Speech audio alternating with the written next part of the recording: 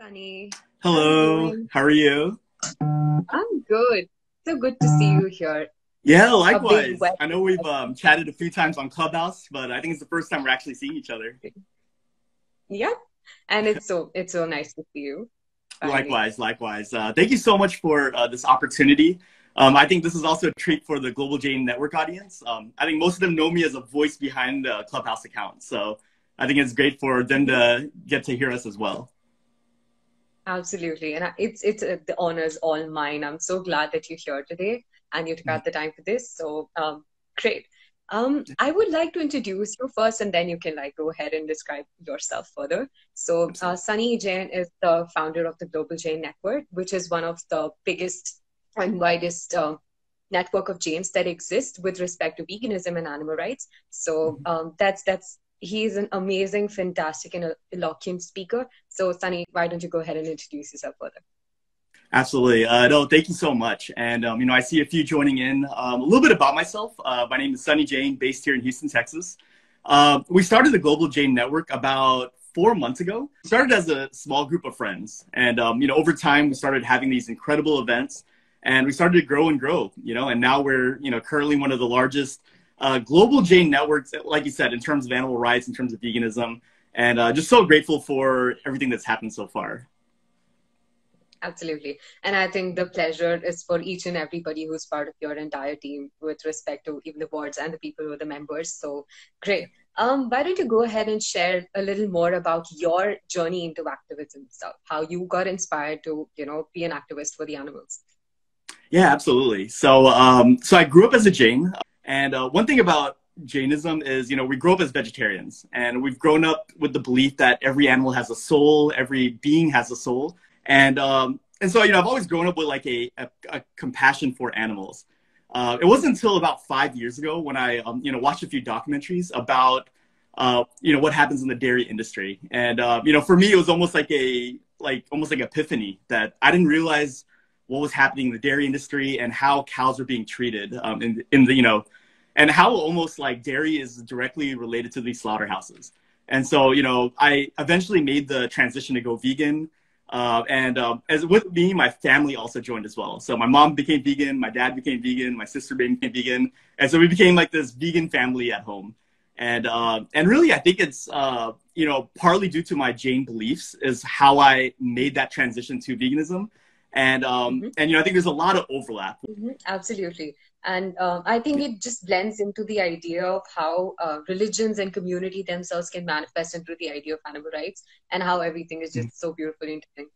So. Um, why don't you go ahead and tell us a little more about what i mean uh, i remember having a discussion with you about prayer for compassion itself on clubhouse right so um, yeah. I also remember you mentioning a particular scene. So if you'd like to talk about that. The- Prayer for Compassion is a documentary that walks the audience through, you know, various different religious communities. And essentially there's vegan and animal welfare groups that are popping up in every religion. So whether it's Christianity, Hinduism, Islam, uh, Judaism, Jainism, uh, essentially there's there's people of religious belief that are starting to realize that hey, there's um, a need for these conversations within our religious spaces.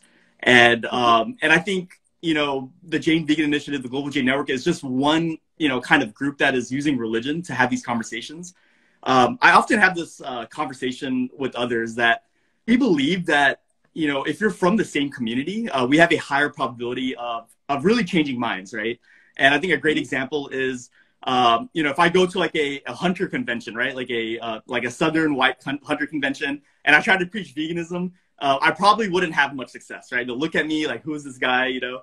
Uh, but mm-hmm. if a, a hunter that turned vegan actually goes to his convention and he talks to his community, uh, he might have a better probability, right? So people would be like, okay, you know, uh, I know him, we grew up together, um, and now he's speaking about veganism. Maybe there's something there. And so that's right. kind of like our philosophy when it comes to, uh, you know, the conversation within the Jain community. Uh, you know, we believe that as Jains, uh, if we speak to other Jains about veganism, uh, you know, we have an opportunity to to have these like very tailored conversations, right? So we can talk about Jain Dharam and like the scripture, tie that into veganism. We can, uh, you know, go to like the Jain temples, uh, and uh, we'll have a space there, right? So if we have like targeted activism, we can aim at a specific audience and try to uh, change the dialogue there. And um, you know, I think in the greater scheme of things, we're just uh, one small movement in the greater picture uh, to try to push that needle. And so, you know, I think these conversations are happening everywhere, and we just want to do our part, um, at least with the Jain community, and start pushing that conversation as well. And again, just a correction: don't ever say that it's a small initiative. 13k Jains, not a small initiative yeah. at all.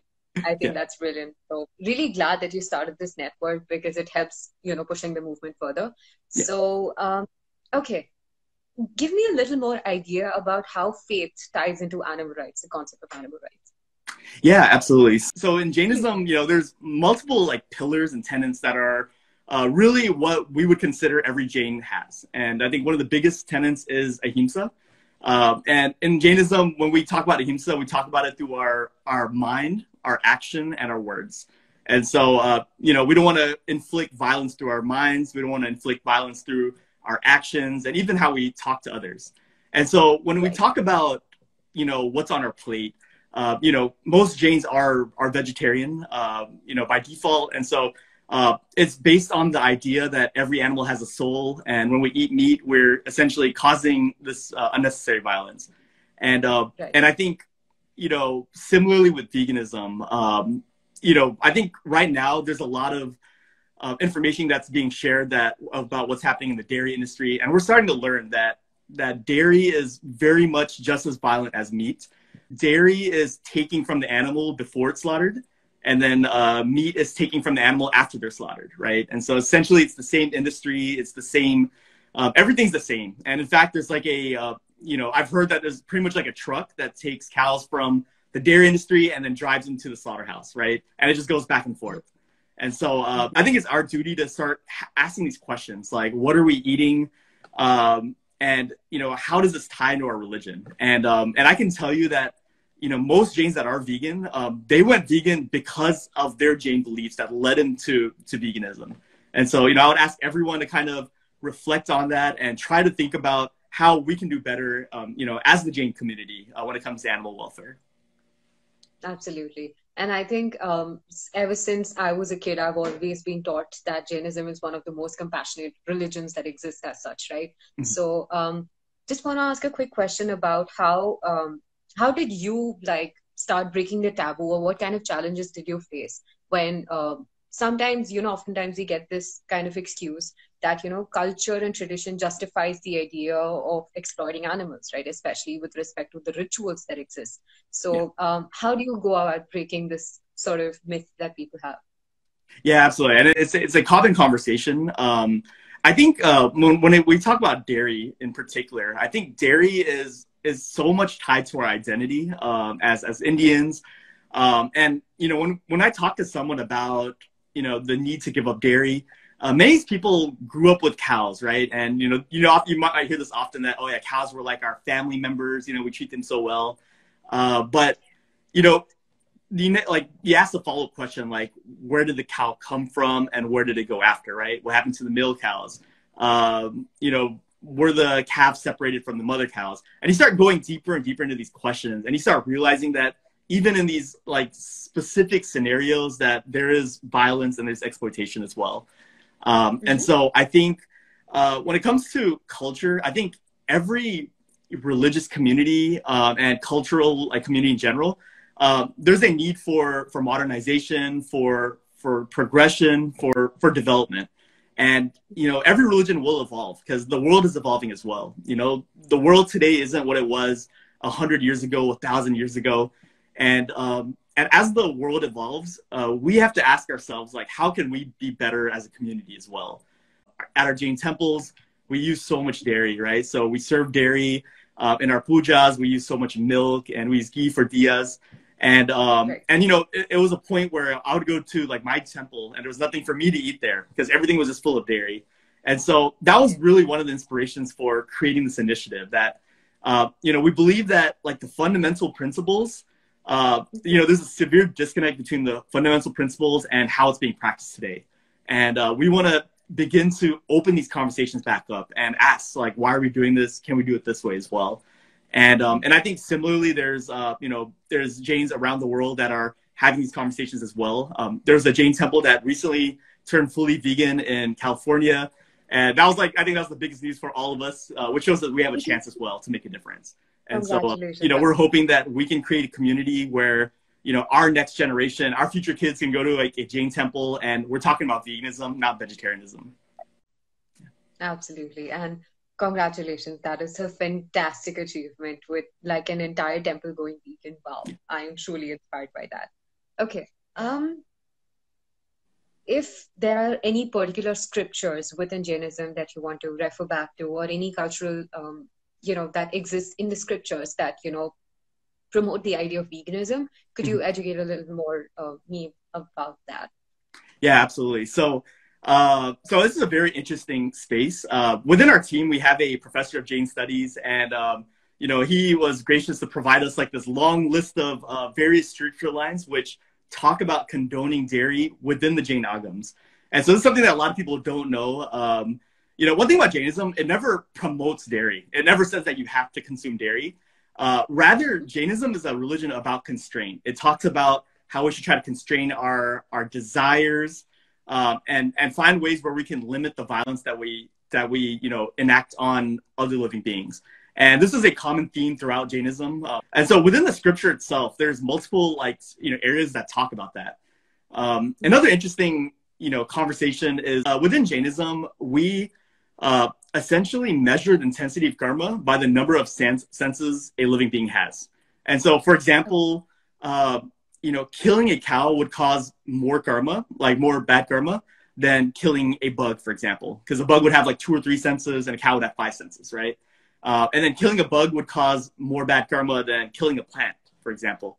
Uh, and so even when we look at, you know, like that hierarchy of how karma is identified, you look at, mm-hmm. you know, we avoid root vegetables, right? For, for in the name of, uh, you know, ahimsa. And it's a little bit more of a complex explanation, but in general, uh, it's, you know, fundamentally behind the name of ahimsa.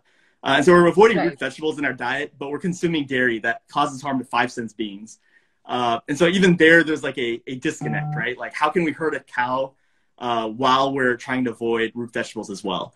And so, uh, you know, when we make these like, you know, smaller connections, uh, you know, there's a lot of evidence within our, our Jain scripture that would tell us uh, that we should avoid dairy. Uh, whether, mm-hmm. you know, it was okay 100 years ago. And, you know, there's like a divide there. in my opinion, I don't think it was ever okay to take from an animal. But it's definitely not okay now, you know, given the circumstances and the world that we live in. Mm-hmm. Absolutely. Yeah. So, um, okay. Have you ever got this argument that it's justified by culture to be consuming or, um, you know, as an excuse to be harming animals? So, how do you tackle that particular argument? Yeah, yeah. And, um, and one thing I'll, you know, I'll just share for those that are kind of new in the space, uh, you know, so there's a idea called cognitive dissonance, right? And, and essentially what that means is, um, you know, in our human mind, it's impossible for us to have two conflicting ideas at the same time, uh, which leads us to kind of make these, um, you know, these rationalizations and justifications. Um, and sometimes it sounds absurd, right? And uh, right. and you know, for example, you know, if I tell you that you know dairy causes violence to cows, uh, in your mind, you know, you obviously don't want to cause violence to cows, right? That's like, and you know, that's a horrific thing. No one wants to actually cause violence. Um, and so what we would say is, oh, but we need it for protein, right? And so it's almost, it makes no sense, but we have to use something in our mind to justify it. And I think yeah. one, uh, and this is kind of like just my philosophy on it. I think one goal of activism is to dismantle this cognitive dissonance. So oftentimes we're yep. walking through this conversation with them that, oh, so you need protein uh, from the dairy. Uh, what if I told you that, you know, that you could get protein from plant-based sources, right? And what about this? What about that? Uh, what if dairy is unhealthy for you, right? There's a lot of evidence now that it's not good for the human body. Uh, and then, you know, then suddenly that kind of rationalization diminishes, right? so then you might come up with another rationalization that, oh, it's in our culture though, right? That we're doing more good than that.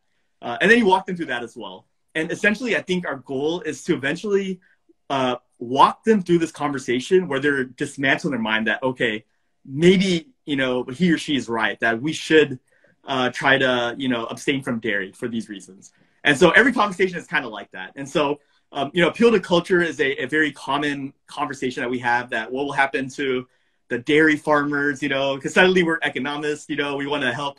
You know, uh, you, you know, it, it's something that we'll, we'll go into anything and everything to try to justify our use of dairy. And uh, when it comes to culture, I think it's it's important to realize that um, just because we did it a hundred years ago, um, or you know, for so many years, it doesn't make it okay, right? There's so many other things uh, in humanity. Uh, you know, we've engaged in like you know, in racism and sexism. Uh, we had a caste system, right? Uh, you know, violence was okay, uh, you know, many years ago, and so just because we did it many years ago doesn't mean it's still okay. We should be, uh, you know, talking about as humans how we can change the way we're doing things so that we aren't doing what we did, you know, hundreds of years ago because it was never okay. Absolutely, and that is so well said. And just like how you brought about the existence of various other oppressions even within the human uh, animal realm, right? There's yeah. speciesism, which falls into why animal abuse is justified. So, what are your thoughts about speciesism? Yeah, you know, um, I, I, love the concept. This is actually a concept that I was introduced to uh, through Clubhouse, like through these conversations. And one thing I realized right away is uh, speciesism is something that is like built into our system. I mean, it's so deeply rooted. It's even within our language. Um, even myself, I'll catch myself many times like referring to an animal as like an it rather than a, you know he, she, or they. And, and I feel awful because like sometimes I don't even realize that I'm speaking to an animal in that way. But then you realize that it's just so inbuilt in our culture, in our language, and everything we do. And so the idea of um, and you know, know, I would love to hear your thoughts as well. But the idea of uh, you know, speciesism is uh, or anti-speciesism essentially, you know, as humans, we are also animals. You know, and nothing about humans makes us better than animals, right? Um, you know, if you look at any feature of a human, there's probably an animal that has that feature, if not better. And even if if not, we shouldn't think of ourselves as superior to another living being. Um, and within Jainism, there's also a lot of um, interesting kind of like connections that we made after learning about speciesism. You know, we believe that mm-hmm. you know every living being has a soul, and we are all equal in that sense, right? So right now, I'm you know born as a human, and you know it's considered like a you know a great opportunity and a blessing. Uh, you know, within Jainism, to be born as a human because it's an opportunity to to follow like our our religion, our dharma, to to spread positivity to others because we have that opportunity. Mm-hmm. Uh, but in my last right. life, I could have, you know, been something else, right? I could have been an animal. I could have been, you know, anything else. And, you know, that is the same soul and just a different physical body. And so, you know, when we look at a another animal, we shouldn't look at ourselves as superior because, you know, even within Jainism, we're all the same, el- the same essence, the same soul, uh, just this different mm-hmm. physical body. And, um, and, you know, you know, I heard like a monk actually say this, which I loved a lot, but, uh, you know, this monk said that we should treat all animals and all living beings with, you know, this compassion because that animal could very well be our next like spiritual, you know, leader, you know, in the next life. And so even in that mm-hmm. like idea, like we should treat every animal with respect. And um, mm-hmm. you know, with that idea, now we look at what we're doing to cows, right? Uh, are we really right. treating that cow with compassion and with respect? Um, you know, cows go, you know, whether in North America or in India, uh, cows go through a, a horrific life. They are, uh, you know, tortured from start to finish. Um, you know, their lifespans are cut by like 80 to 90 percent. Uh, you know, male cows are slaughtered within a few months to a year. Um, and this is once again in India as well as in North America. Um, and then female cows, um, you know, they go through this uh, process of artificial reproduction. Um, you know, they are uh, separated from their calves, and then they're slaughtered as soon as they're spent, and they're not able to make milk as well. And and so if I'm thinking about how these living beings could be uh, reincarnated into in their next life as a spiritual leader, um, I think it's it's no way we can treat an animal. Absolutely, that's so well said. And yes, that's exactly what speciesism is. It's it's the idea that um, you either there are two facets to speciesism. One of them would be a sense of human superiority, as you mentioned, that you know um, humans exclude their animality and you know see it as differently as savages and wilds. Yeah. And um, the other facet of speciesism is with respect to interspecies discrimination, yeah. like how your instantaneous reaction when you look at a dog is to pet the dog, but when you look at a pig or a cow is to look at them as quote unquote meat or as a milk reservoir, right? Yeah. So when well said. Um, and and you're absolutely right. And you know there's a lot of biases that we have uh, internally. And you know this is something that i i noticed myself. Uh, when i look at a animal like a, a monkey for example right? They have human features right? They have these facial features. The eyes are uh, you know ahead straight. And so you can see these emotions. But then when we look at a bird, it's it may be more difficult to see do they have feelings and how do they feel. And I, and I have a quick story. Uh, here, you know, where I live, there was actually a pigeon, and its wing was, I think, broken, so it wasn't able to fly. And uh, mm-hmm. it was in a place where it wouldn't like survive long if it just stayed there. And so my mom actually, you know, took the initiative of bringing it home to us, and we're like, hey, let's keep it within our house for a few days, and let's see what happens, right? Because you know, if, if the pigeon's gonna die, at least we can provide some compassion and you know, provided food and water and you know, air conditioning. And um, and so we lived with this pigeon for a few days. And um, and I remember the pigeon was walking around in my room, and the pigeon actually put its tail next to my foot. And um, and for me, it was such a strange behavior, right? Like you don't understand like why. First of all, pigeons don't come close to us like that. And uh, and it put its tail next to my foot, and essentially the pigeon was showing its way of compassion. And uh, you know, birds have their own ways of showing emotions. Sometimes they'll shake their wings, you know. Um, sometimes they'll do different things that show that show compassion, which we may not be, you know, it might not be very apparent. And I think that moment made me realize, like, wow, like even this pigeon has compassion, and it's almost like you know that pigeon's way of showing uh, thankfulness, right? For you know, for feeding it, for being around it. You know, uh, I think the pigeon realized that we're not causing harm and threat, and so Mm. I think, um, you know, just speaking on speciesism, I think all animals have that ability to to feel, uh, you know, compassion, to feel pain. Uh, they all want to survive, and um, whether it's a fish, you know, once again, fish have eyes on on the side, right? So, you know, it may be difficult, like just from biases, to see that a fish can feel pain as well, but it's all living beings, and so, um, you know, in the same way, the way we treat dogs and cats, which you know we all love. Uh, you know, we want to treat cows the exact same way. We want to treat all animals the same way. Uh, so that's just the, uh, you know, one thing I wanted to share about uh, speciesism in general. And uh, since you mentioned monks, are there any particular uh, spiritual leaders within the within Jainism that you know you would recommend for people to look into their teachings? Um, mm-hmm. Uh, the question regarding the Jain space and veganism, um, I think we live in a very, you know, it's a very unique uh, space right now. Uh, veganism is being talked about everywhere within the global Jain community, um, especially here in North America. It's a very common mm-hmm. conversation. Um, within, uh, you know, the Jain derasars, which are like the Jain temples, uh, we have a few Jain temples in every major city in North America, and um, mm-hmm. and there's many like like teachers, Sunday school teachers. There's many like like leaders that are vegan uh, within the Jain community. Uh, for the very reason of of realizing the violence within the dairy industry, and realizing that as Jains, uh, we should abstain from products that hurt animals, right? Uh, you know, there's a uh, you know there's a few Jain vegan groups like like grassroots groups that go around and they share awareness and educational material within the Jain community about veganism. Mm-hmm. Um, I had mentioned like there's a Jain temple that had one vegan as well, um, the Jain Center of Southern California, which is like our, our pride and joy. We're so proud that that entire temple went vegan. Um, we also have like a nonprofit organization um, known as Jaina, uh, you know, here in North America, which represents all like Jains and Jain derasars. And uh, we regularly have conversations about veganism there as well. And they actually have like a committee um, known as, uh, you know, the Ahimsak Eco-Vegan Committee. So it's like a committee that talks about veganism within the Jain space. So there's a lot of like um, conversations that are happening about veganism. Um, and, you know, this is like within the last five years. So I think it's still a, a rapidly growing you know, uh, movement.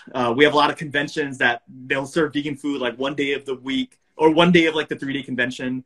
Um, and so I think like with time, as we continue to have these conversations, uh, we'll be able to kind of push that needle further and further.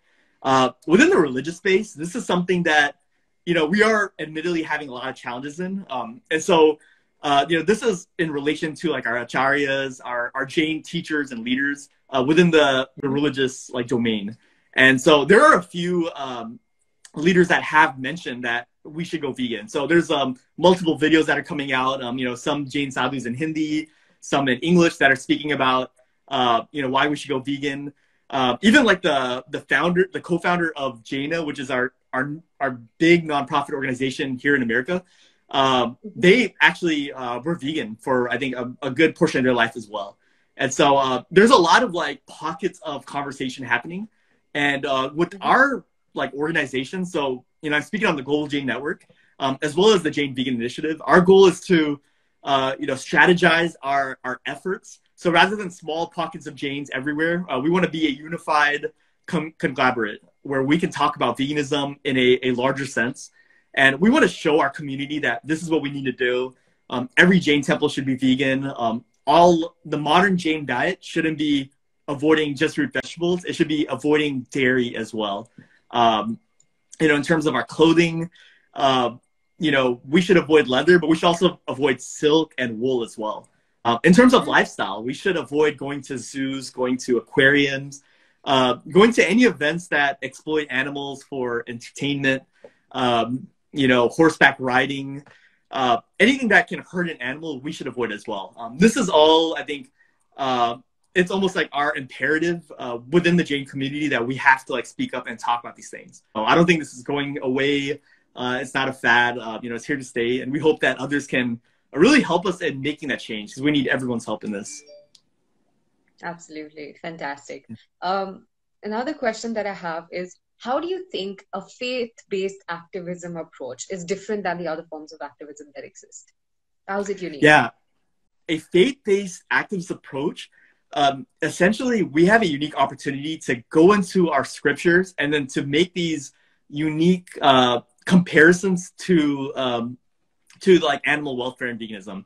And and you know, like I said earlier, there's a lot of evidence within our our religion that we should go vegan. Um, you know, we look back at our you know religious leaders and even for thousands of years uh, there's like like evidence that jains have engaged in animal activism uh, there's you know a few like major names that have you know they've like spoken to kings and they've convinced kings to ban um, you know like animal slaughter uh, and this is like you know thousands of years ago right and so right. you know when people say that we shouldn't use religion to justify activism um, i would say it's the very opposite and even like our our like our you know, our Tirthankars, our Jain leaders, like so many of them have, you know, there's so many stories of them saving animals.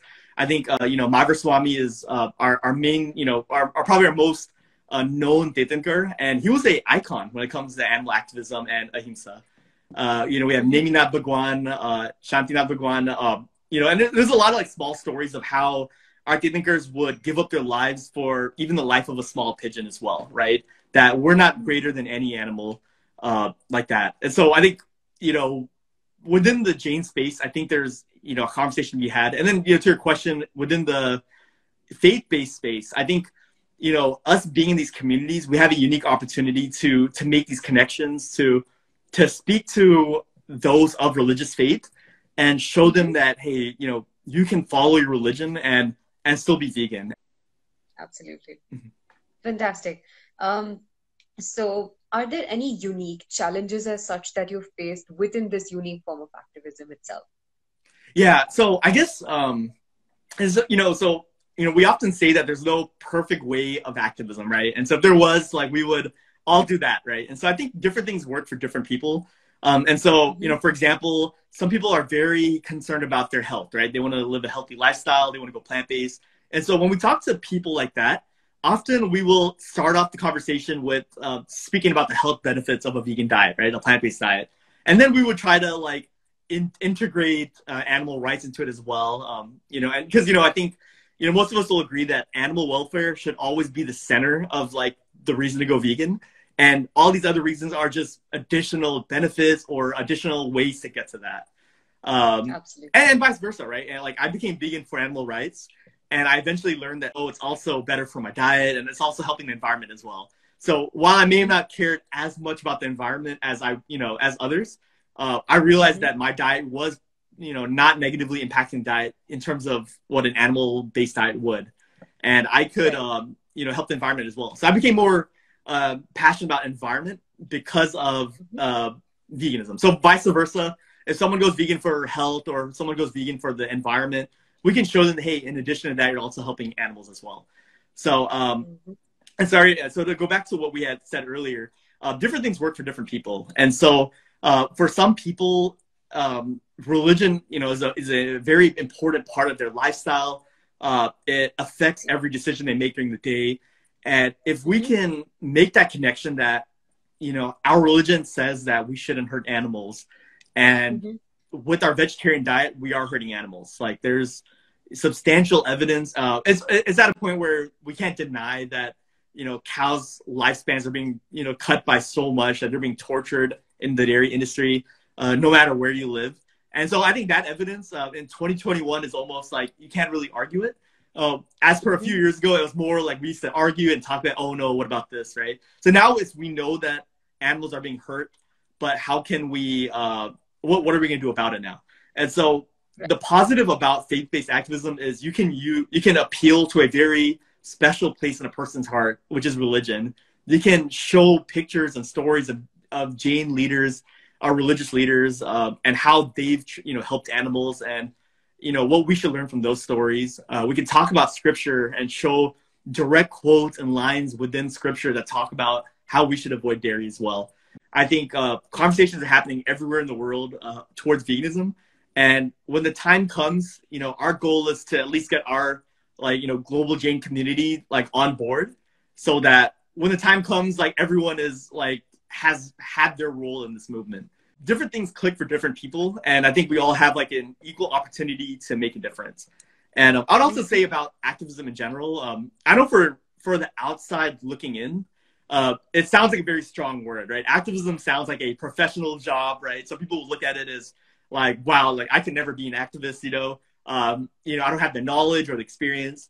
Um, others have like a, you know, often like a like a stereotype of what an activist looks like. And what. I would mm-hmm. tell you is, um, you know, even if you just talk to someone about how they should change their diet, I think that is a form of activism, right? Um, you know, I know some people will go on the streets um, and they'll do activism, which I think is a very effective, uh, you know, method of activism, by the way. So for those that think that it doesn't you know make difference it really much does like there's a lot of evidence that show that you know people that hold signs and do these things like they're doing a lot for animals and so we should never you know speak you know speak down on them even if we don't you know agree with certain approaches. Um, you know we don't know what they've done for uh, you know what impact they've made right? So uh, so I always like make a um, make it a point to not criticize other forms of activism. Uh, and you know I would also say that you know it doesn't matter your background, your experience, or knowledge. Uh, we all started off not knowing much about uh, animal rights or the environment or the health, and as we like continue to be in these spaces and have these conversations, like you learn, and you know, and I think me and Panch would also say that we both are continuing to learn as well. We're evolving, we're learning, we're adjusting the way we talk to people, um, and you know, there's never like a bad time to like get involved, even if it's just like sharing posts um, and then eventually evolving to a point where you're comfortable with having these conversations. Um, and then, um, you know, uh, some people like will watch, like for me, like I had to watch these documentaries to really get knowledge about certain like topics. Um, like now I'm at a point where like we're having conversations with doctors about veganism, right? And we're like standing toe to toe having these conversations, right? And we're able to do so because we've had these uh, conversations, we've messed up, you know, we've done well. Um, and we've over time evolved and we learned what we needed to learn about how we can communicate with others. And so, um, and once again, I think we all have an equal role in being a part of this. And, um, right. you know, I'll just recommend and encourage everyone to, to just try to get involved, right? And look at activism in a different way. Um, we can all be activists. I think everyone should try to be an activist in their own right and, and just be around other like-minded people. And so even if you're around other like activists, I think you'll gain that confidence to go out there and, and speak up, whether it's at a public event or at the dinner table, you know, with some friends. Mm-hmm. Absolutely. So um, I think for me, I've just had this one belief in my entire lifetime. It's that when I, ha- with increasing knowledge comes the responsibility to share it. Yeah. And that's pretty much what I do even with activism, right? That's the entire crux of it. You know the reality of something, so you expose that reality to the others using various forms of activism. So definitely. And um, there's a question from somebody who says, any documentaries you'd recommend alongside a lot of other questions? Yeah, absolutely. And what I'll do is I'll write this in the chat as well. We actually created like a link tree, um, which shows like all the documentaries divided in different uh, section. So this includes documentaries on Netflix, on Hulu, on YouTube. Uh, and by the way, most of these documentaries are free to access. Like, you know, they're readily available. So you can just go on YouTube and search it and find it. Um, so, you know, for those that are new in the space, right, there's essentially three, I can maybe say four major points uh, within the vegan movement that essentially introduced people to veganism. Um, veganism is a social justice movement. It is related around animal welfare. So like I never want to like confuse it that it's about anything outside of animal welfare. But there's important conversations within the health space, within the environment space, that talk about how vegan, how the vegan lifestyle and the diet can can um, help humanity in these spaces. So when it comes to the environment, um, and I'll you know I'll just quickly share that you know we're finding out that the animal agriculture industry causes a lot of damage to our planet. So when we talk about uh, you know pollution, we talk about climate change, right? We talk about uh, deforestation. We talk about you know the, the trees that are being you know cut down. Uh, this is all being significantly progressed by the animal agriculture industry. And so, for example, to uh, you know, so to create land for for animals to to grow, at, you know, for for flesh, uh, for meat and dairy, uh, they they're actually doing deforestation and they're cutting down the Amazon rainforest right now. And so, if you remember in like 2019, there was like a, like a big like like story about the Amazon rainforest is on fire, right? And people were outraged and people were like, "What is going on? How could uh, you know these countries do that?"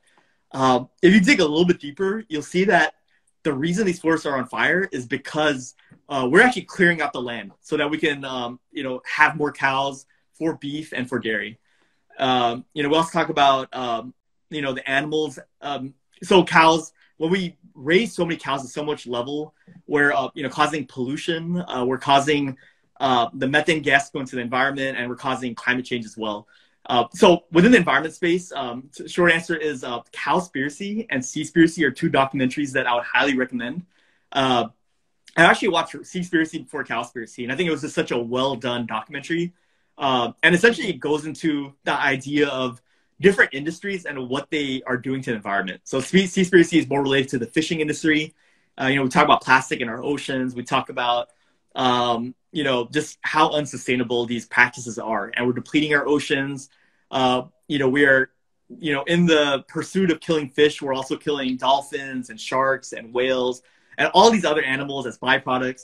Um, and like, it, it's a very like eye-opening documentary. So I think those two documentaries I would highly recommend. Um, sorry, I'll go a little bit faster. Uh, for uh, and for for health, uh, what the health is a, a great documentary. Um, Game Changers is an awesome documentary, especially for those that are in the fitness space. Um, there's often a misconception that you can't build muscle uh, on a plant-based diet, and I think the game changers just took that idea and flipped it upside down. And you know, it mm-hmm. follows like the the stories of all these leading athletes in different um, athletic categories and how they're using a plant-based diet to to lead. And then finally, within uh, the the animal ethics space, I would recommend. Um, and by the way, you can help me out. I think Dominion is by far the like that documentary that everyone says that you should look at. You should definitely take a look. Um, you know, I think Unholy Cattle of India is another uh, YouTube video that I, I would recommend everyone check out. Uh, this is a uh, you know YouTube video which shows how cows are treated in India as well, and I think it's just very important that we have this awareness.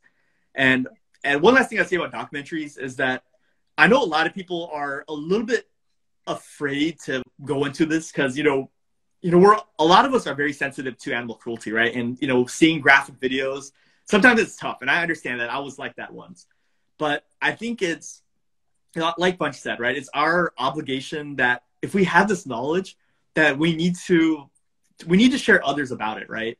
And having watched these videos and these photos, um, you know, I can speak on myself that if I hadn't watched like a graphic video of what was happening, uh, I wouldn't have changed. I wouldn't have become vegan. And I was such a stubborn person, you know, that it, like you know, and it's kind of sad, right? And I'm very admittedly just I feel I look back and I regret so much about how I used to be. But I used to be a person where someone told me that oh, this has eggs in it, right? Like so, like in North America, like cakes and baked goods often has eggs in it, mm-hmm. right? And it's a very like common thing here. And if someone said, "Oh, this cake has eggs in it," like it would ruin my day. I'm like, "Oh, you messed up this food for me," right? Like that's the kind of person I was. And and I don't think anything could have changed me except for watching what is really happening and sometimes looking at the expressions that animals will make right before they're slaughtered and it, it isn't like a quick slaughter. It's not a painless slaughter whether it's organic or whether it's um, you know from a local farm. In every case the animal will go through pain and and there's oftentimes other animals nearby that are watching watching the scene happen unfold right? A cow can actually even like smell the scent of blood and it will it will make it feel terror like afraid. And you know i think it's important that we have to watch these at least have an understanding of what is happening and yeah. once again different things work for different people uh, but i think these pictures and these images have a role in our movement because um, i wouldn't have one vegan otherwise so uh, so hopefully that kind of answers that question yeah, it definitely does. So, yeah. just quickly adding on, like you said, uh, Dominion is one of the documentaries that um, you know shows exactly what's happening. For people who are in India, please watch Unholy Cattle of India and Deadly Dairy. Both of them are on YouTube and they're like free videos, so you don't have to pay anything. Alongside that, there are there's a brilliant, brilliant documentary which is called Earthlings that would definitely change your perspective about a lot of things. So please do go watch that as well. Right. So there's somebody who's asking about uh, almond, soy, and other milk alternatives are available in few places, but come with a cost. How hmm. about do how about doing raising it up to regulate the prices? Um. Okay. So if I can maybe share a few words, and much please feel free. Right. So I think um, if you're talking about from the economic, like the macroeconomic side, um, you know, because I think there was part of that question was about that. Uh, there's a reason why animal products are cheaper than plant-based products. So in North America, right? I'll, I'll speak on North America. Um, you know, government. There's a lot of government subsidies that go into animal agriculture, and so essentially, uh, these farmers that raise you know animals for meat and dairy, uh, they're subsidized heavily. They get they get a lot of money to keep prices low, so that you know oftentimes dairy milk will be cheaper than almond milk, for example although almond milk essentially is almonds in water that you can make at home, right? It's not a costly process, but there's a reason why dairy uh, milk is cheaper than almond milk right now. And so there is a systematic change that needs to happen to make plant-based alternatives more readily available and affordable. Um, as vegans and as um, as vegetarians that are transitioning to veganism, one thing we can do is um, begin by beginning to support these different industries, with demand, we can bring prices down and make a product more readily available. And so a lot of the right. great opportunities, advancements in the food space that are happening in the vegan movement right now is because there's so much demand for it. So um, if you're a person that has uh, like the privilege, right? And so I'll speak, uh, I'll speak it in a very like narrow lens. But if you're a person that um, has privilege, that has like the ability to afford these products, uh, I personally would spend an extra dollar to buy something that's more aligned with my values and you know aligned with animal welfare than spending one dollar less knowing that an animal was hurt by this product. And so, uh, right. um, for those that are you know not in that economic status and you know they're looking at prices and different things, I think um, mm-hmm. there is a few tricks and tips on how to be vegan on a on a budget as well. And so uh, in North America, um, you know, obviously you can buy plant-based alternatives. Uh, there's different brands. So some brands will be considered premium, pricey brands, you know, like the very nice, like Miyoko's, you know, cream cheese, uh, like really high quality stuff, right? And then there's other brands that are more economical as well. Um, right. And so, you know, there's like there's like uh, certain tips and tricks on how you can go vegan while saving money. Um, I can say almond milk is almost comparable to dairy milk uh, in terms of pricing in North America now. So it's almost the same price, you know. Um, certain restaurants, like the, the vegan burger is actually about the same price as the regular burger as well. And so like that, that price discrepancy is shrinking significantly in North America. And I think India is soon to follow. India is right, like right next in line because I think usually uh, things will come to America and then within one to two years they'll come to India as well. And so mm-hmm. these prices will shrink. So don't think that it will always be a expensive lifestyle. It is going to shrink. And there's more and more innovations happening in the space, which will make things more uh, readily available. But uh, but yeah, Panch, if you want to like share additional thoughts, please feel free. Um, so for me, animal rights is like the most important concept and something that I hold very dear to myself. So um, I've grown up with the idea that exploiting animals for irrespective of whatever the cause is wrong. But I was completely desensitized to the idea that cows and buffaloes are actually mothers. That's why they give milk, right? So we've always had this picture of, hey, there's a happy cow in the farm who's like eating and grazing and then giving us milk. So that was broken for me uh, when I watched this documentary. And um, once I was sensitized to that, it was a simple statement, right? It was that um, if I'm drinking a glass of milk from another mother, her child, whose milk that rightfully is, is denied that. And that was what changed the entire perspective for me. So I, like a lot of other people, went vegan overnight. So I did that. But coming back to the topic of why there's a price discrepancy, right? So it's important to look at how um, Sunny talked about subsidiaries. That's one aspect of it. But another aspect is that, especially when it comes to like things like soy and corn, they are the basic feed that's fed to these animals when they are like, you know, raising them. So that is why even that is why soy is pra- uh, mm, priced a little higher and is inaccessible in certain areas, right? But when it comes down to the alternatives, what I personally do is first of all, I don't personally like need a lot of milk. So um, I mean, I haven't been a huge fan of that. But one thing that you can really, really do to cut down your cost and, of course, your carbon footprint also is that for me in India, a pack of 500 grams of soybeans comes in 50 rupees. Just 50 rupees. I get them. That gives me almost three to four liters of milk. I just get them, put in a blender with water, squeeze it out of a nut milk bag, and I'm sorted. So um, that's one thing you can try. I mean, almonds definitely can get a little expensive, but soy is one thing you can try. Then there is rice milk. Then there is like various other peanut milks. If you're not allergic, I am. So there's that you can, you can try as well. Um, but one thing that's important to also keep in mind is that the reason why these prices are higher is the dairy or any of these animal exploitation uh, quote unquote industries would not stay afloat without the government backing them with subsidies and the consumers, you know, being tricked into believing that there is a humane way to exploit animals. So I think that's pretty much the reason. But one tip that I would definitely give is just buy your own nuts, buy your own uh, beans, uh, blend them, and make your own milk. I think that's so much more easier, right? And uh, of course, it cuts down. It's very kind to the animals as well, so that works well. Okay, uh, so we have another question which says, "Is there a human humane way to exploit animals?" What do you have to say about that? Yeah, that's um, this is also a very common question. Um, and and you know just to give some context right uh, when we're in these spaces um, you know and so I'm, you know I'm kind of speaking on like the, the global Jain network and we'll have these spaces about um, should we take from an animal by any means right? And one of the conversations we'll have is like what if we didn't do artificial insemination? We kept the cows with their calves. Uh, we kept everything humane and it was a Jain owned farm you know and so animals treated so well. We let cows live to their old age you know and so they give like every like and you know you know obviously me and you know this is an unrealistic scenario right? But just in like this just to play along with this idea that we did everything right is it still okay for us to take from a cow uh, and i would say no right? I, I would say it, it isn't okay. I think by any means um, a cow you know produces milk for its its calf. And if we do any interference with that process so whether we you know, take that, you know, even if you say like there's additional cow, you know, milk within the cow that we're just taking from the top, right? Um, I, I think there's no uh, there's no justification to take from animals.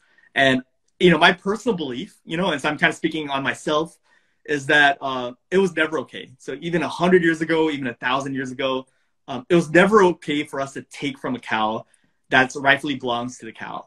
And um, right you know every other aspect of our lives the way we practice our faith and you know even just like uh, practice our lifestyle is centered around not hurting animals uh, this can't be an exception. We can't make one exception where oh but dairy's okay. It's something that isn't you know we should just try to avoid it by any means.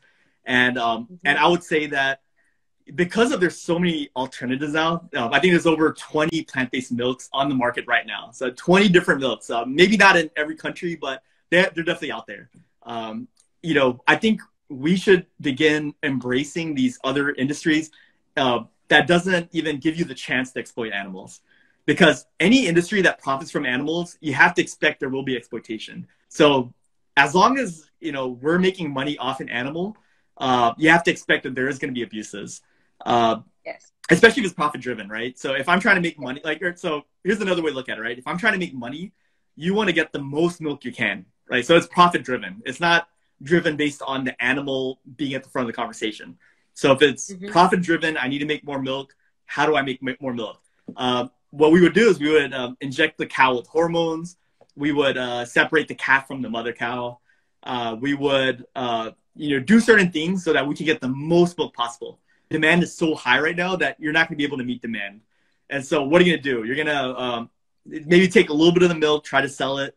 Uh, but even that, it just wouldn't be profitable. It wouldn't be sustainable, even as a business from the business side.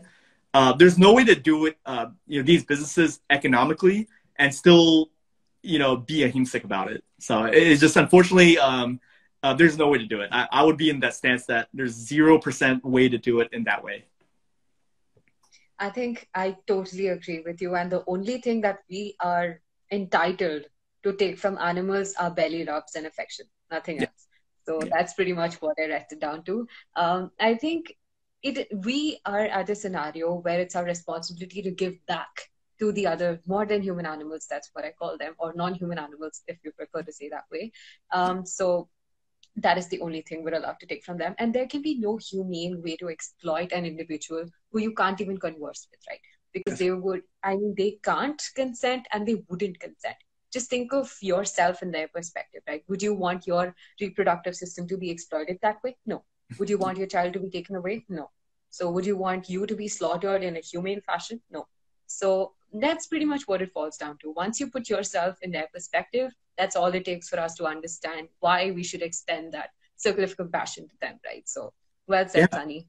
And I think you said it perfectly, right? Like cows can't speak, right? So how, like, how do you even get consent from a cow to take their milk, right? It's not, um, you know, like we can't live in a imaginary world where it's like a mutual symbol. Because I know people say this often, right? That's like a mutual relationship. We provide like its home, and we get its milk in return. And I probably said it's, but we get our, you know, her milk in return.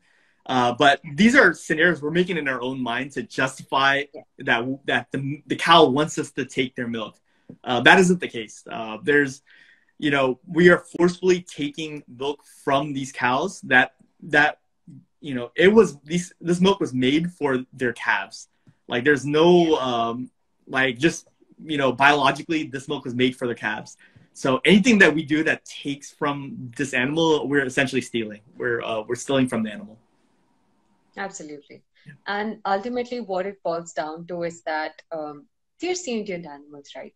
They mm-hmm. have motherhood, they have parenthood, they have friendships, and most importantly, they have the same amount of suffering, the degree of suffering that either me or you or anybody else would go through, right?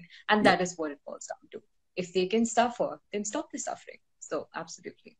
Um, yeah. There's another question, which is with the ESG framework coming up, I'm hoping more, po- okay, it's a comment, more mm-hmm. positive move uh, towards vegan practices. So, mm-hmm. great. Any comments you have on that? Um, yeah, I think um, I think kind of goes back to that earlier point, right? That the more that we begin to, you know, grow our community and support vegan businesses and products, the more mm-hmm. change will happen. Um, if you're within the ESG space, uh, whether if you're within like the entrepreneurship space, right, starting a business, um, you have an opportunity to align your business with your values. And so there's an idea of, of both social impact and sustainability. Uh, and essentially, we're thinking about business ethics now and how can we do business in an ethical way, right? So, right. Uh, you know, I guess for like the Jain space, right? If I'm a Jain business owner, I wouldn't sell meat, right? Uh, so as Jains that are vegetarian, like you wouldn't have a restaurant that sells meat because it wouldn't be aligned with their values. So similarly, mm-hmm. we want to think about dairy in the same way that we, we want to have businesses that that impact change without mm-hmm. uh, compromising our values. Absolutely, absolutely.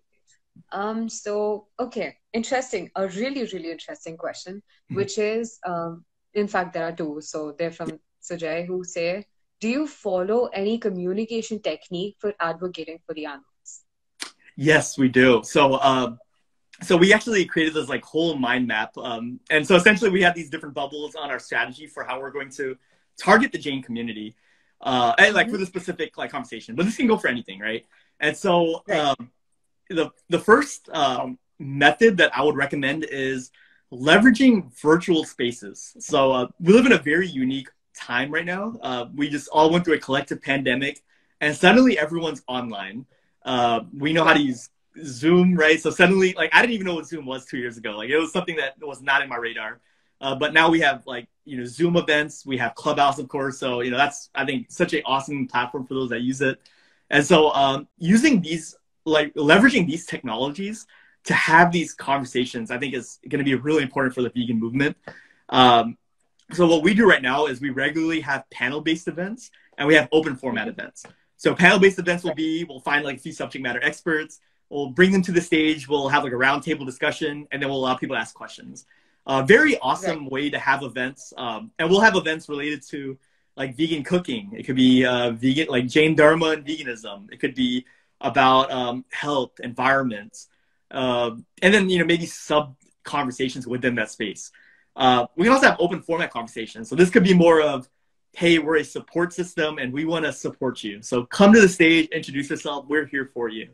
And you know, you know, one like I think a lot of people say that one of the most important things about that transition to veganism uh, is having a support system because you know you're obviously going to this very radical lifestyle change. You're changing everything that you know about food and the world you live in, and you're completely redoing that. Right? When you look at the menu, suddenly there's certain ways to order at a at a restaurant, and you have to like relearn that again.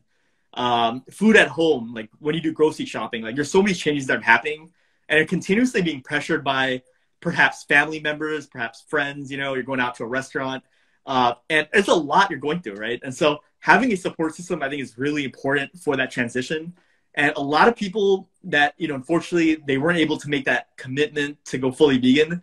A lot of times, um, um, the reason they aren't able to succeed is partly due to not having that support system. And so having like a virtual space, like through Clubhouse and Zoom, is like our way to to recreate these spaces to show you that hey, um, you may be the only vegan in your in your family or in your world, but hey, there's a lot of others out there as well. These are just like a few different strategies that I look at as uh, like from an active standpoint. But I think virtual world, uh, taking full advantage of technology, I think it will be really important. Absolutely. That was so expansive and insightful as well. A follow up question is um, since the entire crux of the faith is nonviolence, right? So, how important is nonviolent direct communication with while advocating for animals? So, I think it's very important that our fundamental principles are aligned with our practice, and I think that is the biggest challenge that we're facing right now. Is that there's a severe disconnect, right? There's um, you know, and you know, and I say this critically, but I also say this out of like constructive, like to help the community as well, right? And so there's a professor, um, like like a very like renowned professor uh, that had made a convert, comment about like the Jain community, which really much resonated. And the com- the comment was that most Jains are vegetarian, but very few are vegans. Many Jains will wear silk, they'll, they'll wear wool, They'll use um, animal products during our pujas. Uh, at our temples, we use a lot of animal products there. Uh, at our weddings, we use a lot of animal products there. And and that was just an observation he made, and uh, he was absolutely right. Right, like we can't be upset about that comment because it is true that while we preach nonviolence and we're you know even to the smallest being we're trying to avoid hurting bugs and small animals um, and we will fast for a week so that we can limit the violence we cause the world. Yet we're consuming so much dairy, right? Uh, it is just a severe disconnect uh, between our principles and our practice. And um, and I think it's it's very important that we make these distinctions and we have these difficult dialogues. Like, you know, when it comes to activism and the nonviolent uh, direct action, uh, people will uh, react a different way. So some people, some like people will talk to and we'll do activism. They're grateful. They're like, "Wow, thank you for letting us know about this." Right? Uh, it's just a wonderful moment when that happens because they realize that our intentions are good and and their intentions are good too. Like we all want to help animals, and now that new information is out there, we need to evolve so that you know based on this new uh, available information. Um, some people will take it as an attack, right? Some people will take it as an attack on our religion. Um, some people, which it, which it is not, right? It's a um, we think of it as a extension of our um, application of um, of the religion. Uh, some people will think of it as an attack on their identity, right? Because dairy is so intertwined with our identity. Uh, you know, I grew up with cows. Cows were like family members. How dare you say that that I'm hurting animals, right? Um, and no matter how nicely you say it, like you will have those personalities. And when that time comes, I think it's, um, I think you know. So I'm a little bit more strong in my approach, and others aren't, right? And and you know, no approach is right or wrong, but um, I'm okay with ha- with butting heads with strong personalities because I don't think every interaction has to be positive. Like we wish it was, right? That we all walk out of this conversation more knowledgeable, grateful, you know, thankful. Sometimes it's not like that, right? And personalities will bump heads.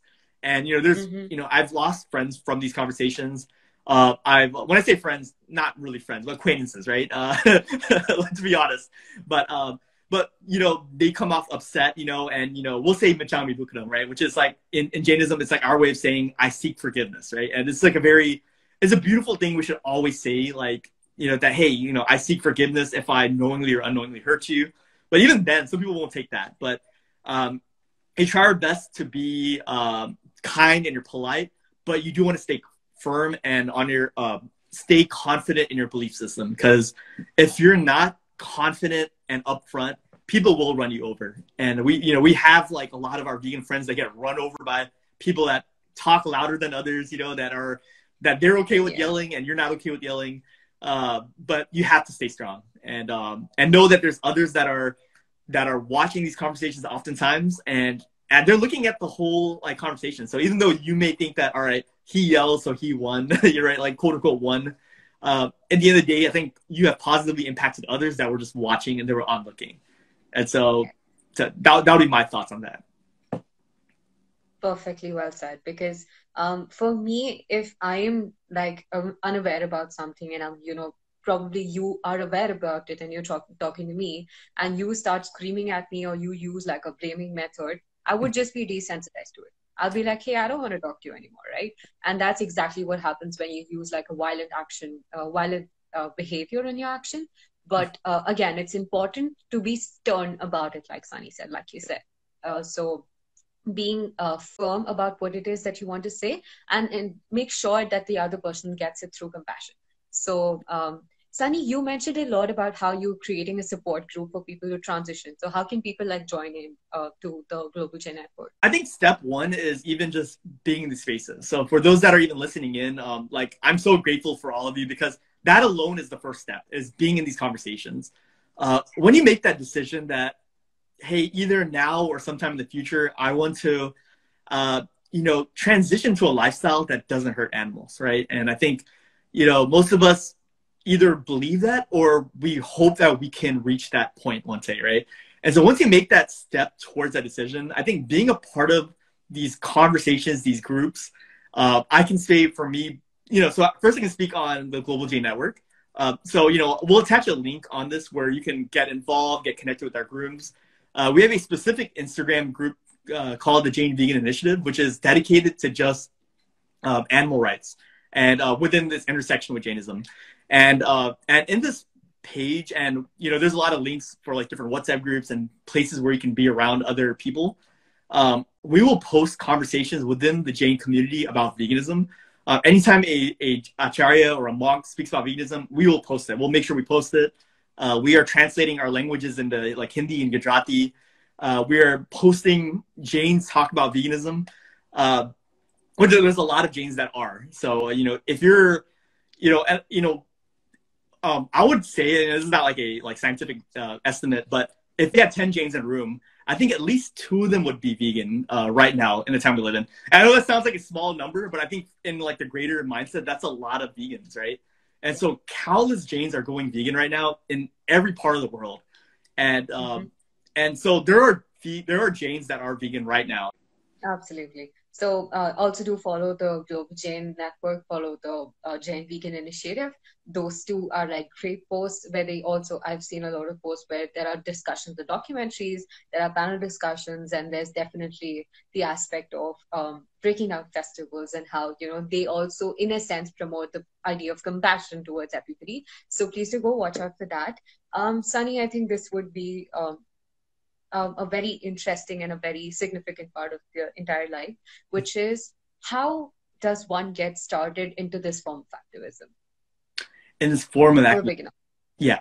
Um, so oftentimes uh, when we talk about like, you know, affecting change, right? Uh, so like in the vegan spaces, we'll talk about individual change and like collective change, right? That's often a way to look at it. Uh, but um, I look at activism in two different stages. There's top down approach and then there's the bottom up approach. And so the top down approach is essentially people of influence, right? So this could be a Sunday school teacher. This could be a president of the Jain Temple. This could be, um, you know, someone on the executive committee of our nonprofit organization, right? So if you're someone of, of with the authority and the position to influence others, uh, you can affect, uh, you know, systematic change from that level. And I think the, a good example of this is the, the Jain Center of Southern California that went completely vegan. It was because the president, um, like I think one of our major donors and the president was vegan. And he pushed this idea that hey we need to go vegan. Uh, and because he was a person of authority and influence he was able to make systematic change. And people will just follow underneath you know they'll follow because of that whole conversation. Um, if you're a, a sunday school teacher you have the ability to influence many people. You could be um, talking to like the kids right like the like the like the kids that are learning about religion and you can you know incorporate the idea of animal welfare in there as well uh, and a great example of that is, uh, you know, Praveen Uncle within our, our Jain community, uh, he actually wrote like the Sunday school books, right? Uh, like that teach about Jainism. And he's a vegan. And so if you go like the page one of our Pathshala books, it says it, uh, avoid, all Jains should avoid dairy. It's, it's right there, blatant. You know, we're, we're incorporating this into our religion uh, at a very fundamental level. And so, you know, we're just kind of planting the seeds, you know, but this is something that a lot of Jains of big influences are trying to do.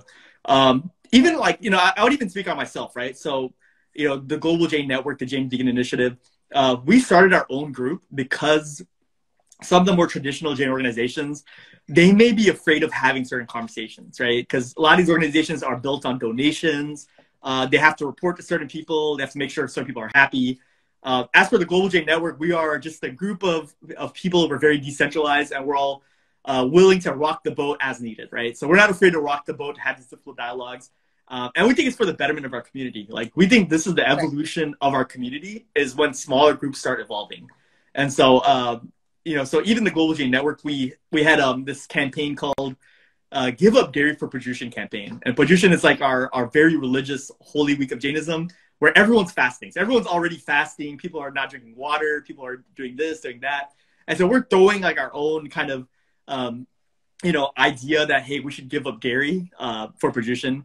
And we found that many Jains are going vegan because of like this. Like most Jains that are vegan um, have went vegan during Paryushan. Like so, we're finding that hey, there's this interesting like opportunity. So every year during Paryushan, we like we go really hard on that. So that is a top-down approach. Uh, sorry, I, I realized I was rambling. Um, the bottom-up approach is essentially grassroots efforts. This is talking to individual people. This is putting signs on the walls. And so, like, I think, uh, I hope they don't take this down. But so I'm a part of the Jain Society of Houston, and three years ago, when the Jain Center of Southern California went vegan, I created like a flyer that hey, their temple went vegan, we should go vegan too, right?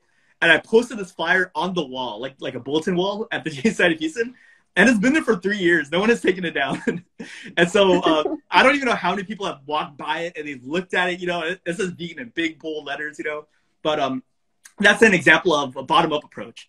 And I think both approaches are equally important. So we want to get people of authority to make these changes, we need like individual people, like every person, every auntie, every uncle, they need to start talking about veganism. And together we can implement this systematic change um, towards veganism. And, um, and I'll just remind that I think, uh, you know, my opinion is the goal isn't to make every person vegan. The goal is to make enough people vegan so that we can affect change, whether it's within our community, whether it's our social structure, within the government, you know, uh, there's always going to be people that, that are you know, and you know, I hate to say, but you know, there's gonna be people that are there's always gonna be murderers in the world, right? There's always gonna be bad people in the world, right? Like we can never do, you know, there's nothing we can do about that, right? But what we can do is we can make systematic change, we can make a cultural shift, we can make it that hey, it is not okay to consume dairy uh, by any means, uh, and we want to make that the the common thought. So if you consume dairy afterward, at least you know that hey, there isn't a religion backing me up for this, right? Uh, and so, you know, uh, top-down approach, the bottom-up approach. Uh, I kind of incorporated into like the Jain community, but this applies to all communities. Uh, this applies to all like systems. So even like in the workplace, if you work at a company, uh, very same thing. Top-down approach, bottom-up approach. Uh, I think these are great like ways to look at activism. Right. Absolutely. Thanks, um, Sunny. Any any other thing that you want to mention before we like close off for the live? And I have a couple of other questions which are like casual. So anything else that you want to talk about yeah no absolutely. Uh, no and i love this conversation and i can talk all the way by the way so uh, thank you all for kind of like listening in and, and hearing me speak about this. I think um, you know I'll, I'll kind of just reiterate that idea of activism. I think no matter who you are right so whether you're um, you know someone from the younger generation the older generation whether you're a parent a student i think we all have an equal opportunity and a role to to help animals. And activism doesn't have to always mean uh, like a specific stereotype of what activism looks like because you can even just talk to a friend and that is a form of activism. Um, it doesn't require you to be an expert. You know you don't have to be someone uh, that's a subject matter expert. Uh, you know it doesn't have to be a profession. Uh, anyone could be an activist. Um, no one knows all the answers. Uh, we're all learning here. Uh, none of us would um, say that we know everything or we're not changing. Um, every day we'll like continue to evolve our approaches I'm learning something new every day from different activists as well. And um, and I think that you know we should all begin to look at it in that sense. Um, you could be someone that starts a food blog, right? A vegan food blog. That is a form of activism, right? You share recipes. You could be someone that um, that is on the streets and is protesting. Uh, once again, I think that's a very effective form of activism, and I never want to discredit that. No matter what anyone thinks, I think it's it's so important that we have people like that as well. Um, and it could be someone that's like like me, hanging out online and just you know mass posting stuff in WhatsApp groups and doing that. Right? Uh, we all have an equal role when it comes to helping animals, and um, and really our goal is we want to just push the needle towards veganism. So however you do it, um, you know, we appreciate you, we want you, uh, and we thank you for for everything that everyone's doing for uh, you know this movement. And I also want to, you know, thank Panch. You know, if I get a chance, you know, I just want to thank you for everything you're doing as well, because I've learned so much from our conversations um, on Clubhouse as well. And I'm grateful for this opportunity. I think a lot of people in the Global Jain Network, um, they haven't heard me speak. Um, some of them don't even know my, how I look, right? Like they know me as a voice behind Clubhouse. So uh, I think it's a great opportunity to reach out to even like my audience as well, or our audience as well, and show them that, hey, this is something that we're really passionate about uh, within our Jain community, we will continue to talk about veganism, right? We, we are not going to shy away. Um, our goal is we want to help the Jain community and we want to have these difficult dialogues, right? And so um, we welcome everyone to be a part of our community and, um, and join us for this. I'm extremely grateful for your food blog because mm-hmm. I just really enjoy the aesthetics of it and it makes me drool every single time I watch it. So please do follow that account of Sunny as well. But most importantly, I think the Global Jain Initiative is such a, I mean, the Global Jain Network is such a, it's, it's spread across. It involves both. It involves a top bottom approach, it involves a bottom up approach, and it's so expansive in its nature. So I'm extremely grateful for the work that you've been doing. And please don't forget to go follow them they would actually change your perspective about a lot of things. And there's a resource link pinned right in on, on the comments. So don't forget to like go uh, check out that as well. So I think it's really important for us to educate ourselves. And just like Sunny said, reiterating, it is never too late for you to be an activist. Mm-hmm. All that that's going to take of you is to share across the message, a simple Instagram post, starting a conversation in your family, going out in the street and talking to other people, or getting on online on uh, you know social media and then starting like your own group and talking about it is some of the ways. And uh, for all the others who are like just getting started as activists, please don't shy away from either getting in touch with me or Sunny or anybody if you want to like you know uh, have some questions about activism or anything of that sort. So we'll be happy to help. Fantastic. So thank you so, so, so much, Sunny. I know it's been over an hour, but this has been such an insightful and, and such an intriguing conversation for me, especially. I'm sure for a lot of others as well. Um, I'm immensely grateful for the work that Global Jain Network is doing, and I'm wishing you all the more strength and power for it. I'm looking forward to more and more discussions, even on Clubhouse, even on otherwise. So, uh, again, a quick reminder don't forget to follow the Global Jain Network and the Jain Vegan Initiative. It would open your perspective about a lot of things. So, um, just really glad that we could have this conversation, Sunny. It was, it's been a great time conversing with you ever since I first like met you, and even now, it's good to see you as well. So thank you so much. This really does. No, I, yeah, and I just want to thank you as well. Thank you for like this opportunity. Um, really grateful to have these conversations, and I know there's so many people that have joined us today that uh, may have not known about this, or may or maybe are listening to these conversations for the first time. And um, right. you know, just yeah, really grateful. Thank you all again for being a part of this, and also follow Panch as well. Let me make sure I say that because uh, you know, Panch Panch's Instagram page, she's doing incredible work. Um, you know, she's had multiple like conversations like this with different people. And uh, I think you know, this is a great opportunity for us, whether, you know, whichever community you're from, to learn about how we can help animals. Because I think that is our ultimate goal that brings us all together.